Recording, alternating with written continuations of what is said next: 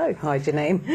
But those stats are terrible, aren't they? They I mean, do sound terrible. And, and there was one stat that I came across. We decided we weren't sure if it was true that that a disposable nappy could last for 75 years. Yeah, or possibly longer. There's no there's no sort of right or wrong exactly what they'll last for because a lot of them go into landfill and they're there forever. So. Mm.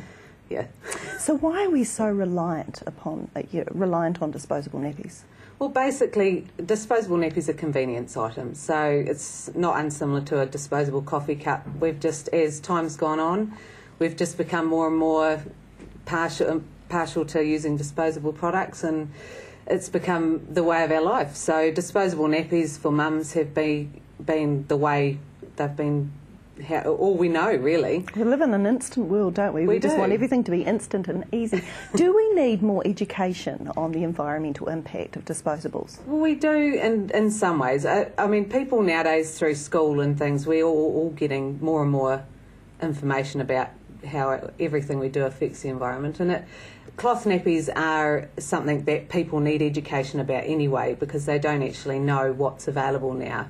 Because all we think about when we think about nappies is disposable nappies. So um, we all just do it in our grocery shopping. We go on into Woolworths or wherever and pick up our packs and nappies as part of our groceries and don't think anything of it. Apart from the bill, in fact, yeah. you're used to seeing that too because I'm sure you've done the stats on, uh, you know, added up how much that costs. Oh, we too. do, yeah. We, yeah. There's a lot of money. It, parent, the average parent probably spends fifty dollars a week on disposable nappies. So, at a time like that, that just seems ludicrous, really, huge, doesn't it? Yeah, and I mean, a lot of us can't afford I certainly can't afford that sort of money per week on a, on a product that's a one use and chuck it away. So it's it's really getting parents to understand that there is another option and they're not the old big flat nappies with pins and things. They're a lot more convenient and they've sort of evolved with as everything else evolves. Could the other option be a nappy free movement? Is is that realistic at all? I haven't really I don't really know much about the nappy free movement and I I know for myself I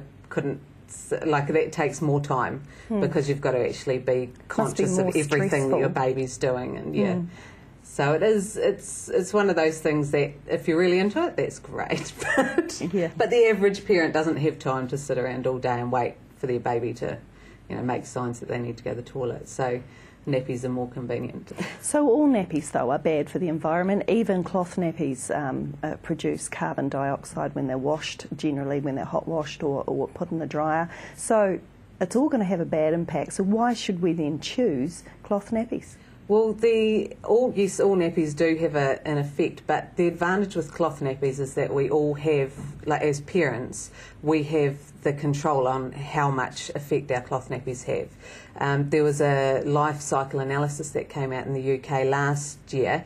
It was actually reassessed um, from the original one, and they came out that if you washed your cloth nappies on lower temperatures, didn't use the dryer, didn't iron them, and did like were very conscious about it. They were forty percent better for the environment than disposables.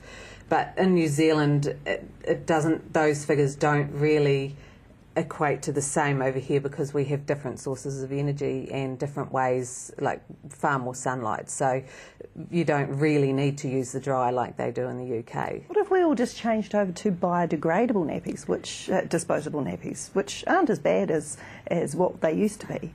Well, the, the, there's sort of a myth around the biodegradable nappies. People think that they buy them, chuck them in their green bin or whatever their curbside rubbish, and put put them out, and they will degrade in the landfill. But landfills nowadays are made not to biodegrade, so most landfills actually mummify everything in them. So you may spend extra on buying a biodegradable nappy, but it doesn't necessarily mean that it's going to do it's going to be any better for the environment. So you may, if you get a compostable nappy, like some brands are compostable nappies that you can do and like at home composting, that's okay. But you then have to, like, there's a lot of nappies that you're going to have to be going through to compost. And again, there's, that involves a, a fair amount of work. That's um, right. So it's not like you just use it and, and, and lose away. it. No, that's right. Okay, so Waitakere Hospital's maternity ward has actually swapped disposables for cloth nappies. That must be a first in New Zealand, is it? It is. It's the, uh, as far as I know, it's the first hospital to go into cloth nappies um, instead of the disposables, and they have had a great scheme so far. It's been well received by all the parents in Waitakere, um, and Waitakere Council is very, very strong on, on environmental uh, education for their for their people in the in the district, and so it's quite it's quite a, a unique thing for them to offer. And we certainly hope that in time across the country we'll be able to get more cloth nappy options into hospitals to for parents to see them. Tell us about your Plunket range because there's now a lot more options, aren't there, available? Our, our nappy range, yeah, we've there's a lot of there's probably four different styles of nappies, but most of the nappies nowadays they'll have different features and benefits. So the, that's why there's so many different ones because you know somebody will make a new one and it's better than somebody else's. And so we all love our own range but our ones we have nappies that look exactly like a disposable now and they're all one piece. You don't have to eh, like have all different pins or folds or anything like that. You just put it on like a disposable and then you just chuck it in the wash. So makes life easy. What about cost as far as cost goes, mm. yeah.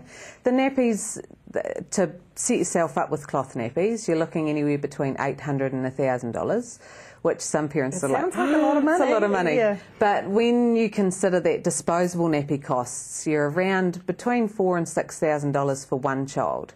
So if you're buying a set of cloth nappies that will last two children for thousand dollars, mm. then you're your $1,000 is, is then instead of $12,000 for disposables. So that's a huge saving for parents nowadays, especially holidays. So it's better to invest into these cloth nappies than disposables that are going to cause an issue. But how do the, uh, your cloth nappies compare, you know, for benefits with the old flat nappies?